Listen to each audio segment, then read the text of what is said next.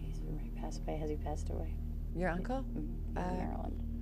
He still feels like he's here. Does he have a hip issue right here? Yeah. Okay, that's him. I still, although I can never tell the difference between because the soul powers the body, but it feels like he's kind of in and out right now. He's fighting. I know that. Uh-huh. Or he was a couple days ago. Okay, yeah. Um, so he was the one that came up earlier. No. Oh, yeah. Actually, yes, it was. Oh, that's why I got your attention real quick. You're like, Mhm. okay. Um, Yes. Yeah, the soul powers the body, as I say so many times. Um, but he, he's in and out a lot. Is he? Has he been thrown up a lot? I'm not sure. Uh, who are you connected to that's been thrown up a lot? Excuse me. Nicole. Nicole? Nicole. Oh, okay. All right. All right. Has she been having really bad heart palpitations? She's here physically still. Yes. I think she has been. Okay. All right. Well, tell, tell her to keep up a good fight. Know, Oh, she'll love to hear that. yeah, keep it going. And uh, I think that's why your father and grandfather keep talking about how, you know, the soul powers the body. So just keep telling her that, that the soul powers the body. Um, but also to she's going through a grief process right now, as a matter of fact. So you know the stage of grief, all right? Walk her through it because she needs it. Because her life is never going to be the same again, even though this is what's going on around her. Okay, so this is just a validation. Uh, your father and your grandfather come through with that. Um, well, it's an interesting thing that we have different people for you today, right? know, uh, do you have that marble collection still? Oh my god.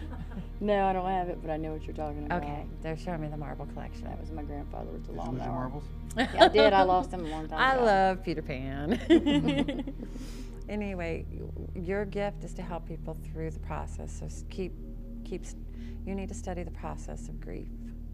I've had a hard time with it. Okay. So I started coming here. Helping people will help yourself, and this is what he's talking about. This is what's going to help you through this. Um, and I think that this is why. Uh, uh, has Chris been complaining about his back hurting lately? Mm-hmm. Okay, yeah, they're aware of that as well. Oh, really? yeah. Wow. Okay, yeah, that's her fiance. I walk on it all the time. Okay, so there's a there's that which you fear you need to walk through, okay? But you're experiencing it. So it's real important that you pick up the something about there's a book out there that will help you through the stages of grief. Studying it from the um, perspective of helping and assisting other people. This is what your folks are saying right now. Wow. Through service and helping others, and for whatever's going on with Nicole and helping her through that, she's also going to be helping people through that process because she is right now um, actually connected to somebody who's recently lost somebody to to cancer as well, and so that's just kind of making it more difficult for her. Okay, Everything you just said just blew me away. She just lost somebody right. at the cancer center where she's at. Exactly. So don't, she needs to stay focused and centered on what she's doing and not attach herself to that loss. Okay?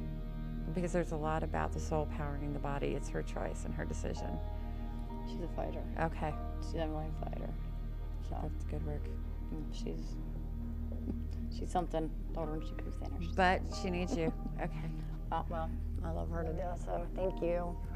If you or somebody you know would like to book Pamela for a private or group read, contact her at mediumintheraw.com and reconnect to lost loved ones. Or if you would like to attend a local Haunts Trinity event and experience the paranormal for yourself in person, go to mediumintheraw.com for dates and tickets.